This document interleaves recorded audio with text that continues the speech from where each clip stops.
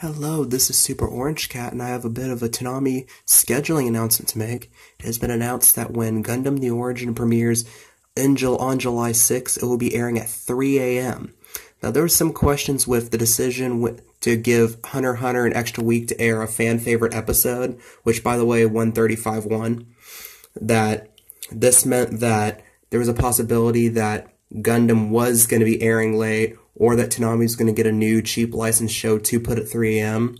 This has been shown not to be the case, so we'll be getting Gundam at 3 a.m.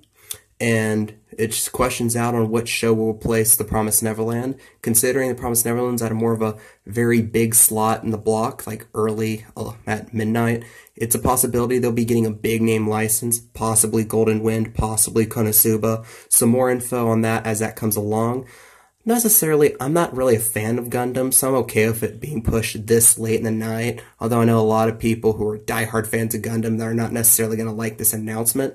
What are your opinions on this announcement? Please leave your comments down below. Please like, please subscribe.